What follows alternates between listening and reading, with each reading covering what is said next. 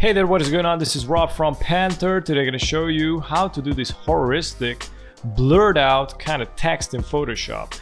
This had been inspired from Poster Grind, uh, you know, who dropped this video. Uh, and a while ago, you guys had been asking how to do this effect because I also featured some artist uh, designs who did something like this. And I didn't know how to do it, so Poster Grind one day just dropped this video and I was like, finally, I gotta find out how to do this stuff. So it was, the process was amazing. So yeah, let's do this. Okay, first thing we're gonna make is select the text which is located right here. I'm gonna go and type in the same name, vision from Panter Vision. Press Ctrl T if the text is too small. Press hold Shift plus Alt to scale it up. So this font is Champion, Champion it's called. There you go. So you can download it, it's for free. So the main idea is to choose something thinner. So this font has a thinner version. Why? Because we're gonna add some effects, we're gonna add some stroke, we're gonna add some more stuff. So it's gonna make it more thicker. So just double click on the font layer and select the stroke and put it on outside. So usually it's on inside and put it on outside. The size I gone with seven and the color also should be on black. As you can see, you can pick the color which you used. Click OK and click OK again. I'm gonna create a white background with a solid color. I'm gonna pull this up. There you go. Now it's white. I'm gonna bring this solid color down. And press and hold shift and select both layers right click and make you know convert to smart objects. And now we're gonna add the effects from the filters. So we're gonna go to the filter filter gallery go to the sketch which is located right here click on the stamp. We're gonna play around with the smoothness of the letters okay? So as you can see here this is smoothness if I bring this down, it's gonna bring it back to the original size. If I bring the smoothness up, it's gonna make it thinner and it start to you know mold the letters together you know the letters start start to melt together. So i'm thinking to mold them somewhere around here. There you go to connect here and there. It's pretty cool. I don't know this won't make any difference anyways so just click ok. Go to the filters click on pixelate and crystallize. Okay, so the crystallize should be, you know, you can zoom out with a plus minus. I'm gonna zoom out a little. Uh, it shouldn't be too big, you know, I'm gonna bring it down to, I don't know, five or six, something like that. We're gonna blur this out a little, so go to filter again, go to blur and select Gaussian blur. So don't put too much, I put it on 1.7, click OK.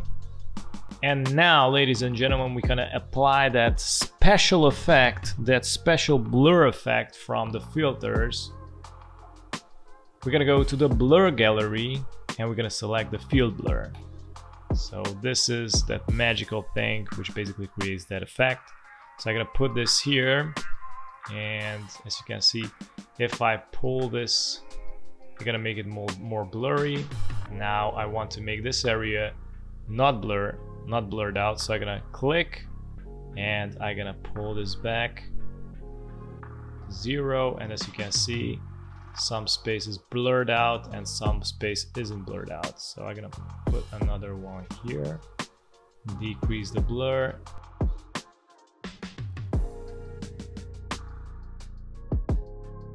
and you also can click on it and drag it.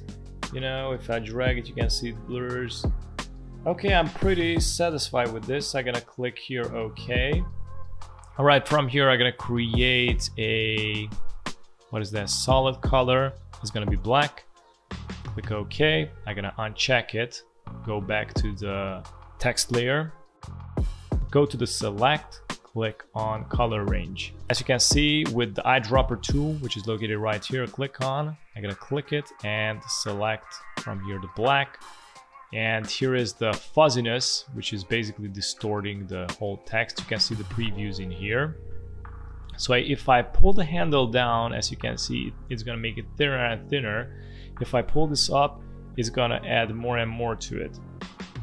So why this effect? That because these areas where we added this blur and this texture and we mixed it in, we're gonna remove some of the part from it and make it a little bit sharper. You know, make a more specific kind of effect from two effects. We're gonna create another effect. So I don't know how to explain it, but it's somewhere around there. I'm gonna bring it like on 150. I'm gonna test it out. I don't know how it's gonna be. Click OK. As you can see, it selected this uh, areas, so it doesn't select the default. I'm gonna activate the solid color and click here on the mask. Press Alt plus Backspace. From here, we're gonna deselect this, so press Ctrl D. So now it's deselected and press Ctrl I to invert. Now uncheck the original uh, text here and as you can see it removed some of the effects a little bit. If I'm gonna check it again, you see more stuff going on and these areas are a little bit more sharper. Before it was like pretty, blurry, so it, it made it more specific. You know, it's, it's better this way a little bit more. So anyways, I'm gonna click on this, gonna press and hold Alt, and gonna go down here to this little plus where you create the new layer. Click, and this uh, window is gonna pop up. I'm gonna rename this noise. Gonna add some noise. We're gonna go to the overlay mode here. Select the mode, go to the overlay. So when I go to the overlay, we can check the fill with overlay neutral color 50% gray.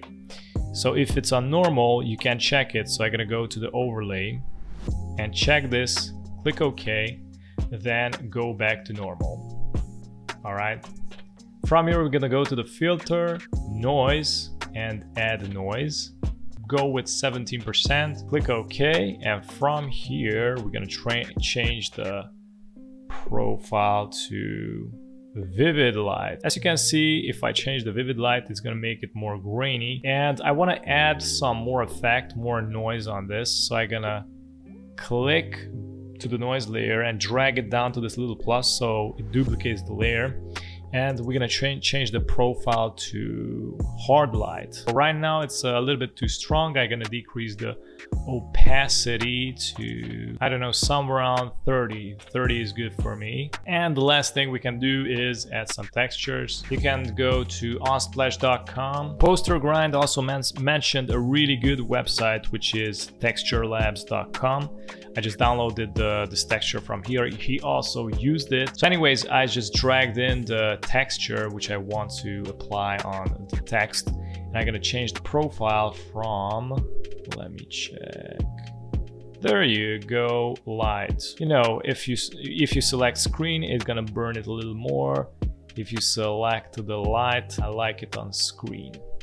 So yeah, you can add like more uh, textures. You can try it out, mix it up, mix it up, and see what what is gonna happen. Mostly this was it. And yeah, thanks for watching. Don't forget to subscribe and hit the notification bell so you get notified with updates. And also check out the other videos. Have a good one. Bye bye.